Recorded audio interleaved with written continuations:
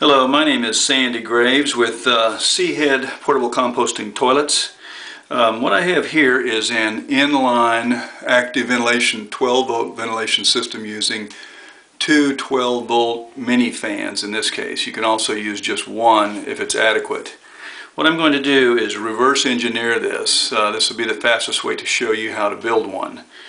Um, to begin with, uh, you can see we have the two attachments here where the line comes in. The, the hose that is supplied with your C-Head will uh, fit exactly over a piece of one inch PVC pipe. You want the one inch uh, thin wall uh, pipe for your connection. It will fit into this on this side and the same thing on this side going off the other way. Um, I didn't, but you can mark on here with an arrow the direction of the flow of the fans while you're assembling it. Okay, let's go ahead and take this apart here.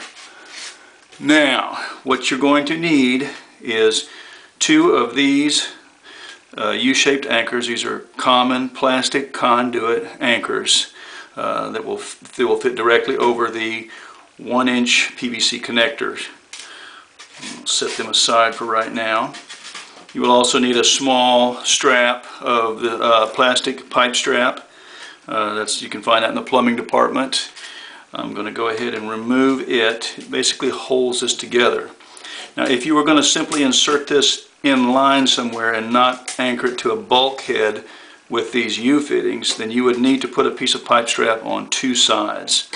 Uh, if it's anchored to a bulkhead, you only need to put it on the side that's facing outward. Okay, let me get this out. It's just a short pan-headed stainless steel screw, one on each side.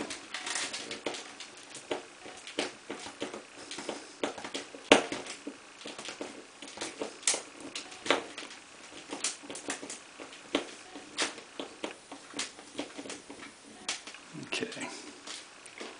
And there's the piece of pipe strap. Now you have the basic assembly. I have a short uh, uh, stub out here for the pipe to fit on, which is a piece of um, one inch PVC pipe, thin wall pipe. Okay. And back to the fan assembly itself, you can see that I've taken the hot and ground wires uh, for the 12 volt and uh, banded them together because this has two fans in it. You also need a connector to go uh, on the end of each of these. I'm going to go ahead and remove them and separate the wires here in a minute. But as you can see, this is simply all bound together using uh, electrician's tape or atomic tape. Uh, you could also use aluminum um, tape, which uh, which binds very well and also will conform to all these corners. I'm going to go ahead and remove this. Okay, I'm going to go ahead and remove the PVC pipe, I mean the, uh, excuse me, electrician's tape. And you can see that it simply, separate these, oops, hold on just a second. Continue to unwrap this.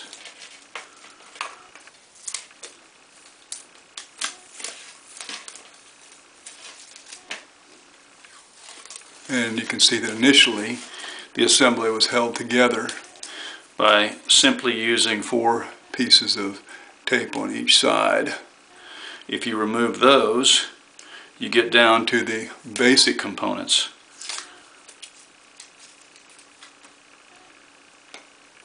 which are nothing more than the two fan motors and two one inch PVC connectors. One right there, one right here, and of course the two fan motors. So, these are the basic components of what you need to make an inline vent. As you can see, this is a simple brushless uh, computer fan and uh, it draws 0.06 amps, 12 volts. You can get a slightly larger model. Um, This one here draws 0.08 amps, and I believe it has a little bit more uh, flow on it,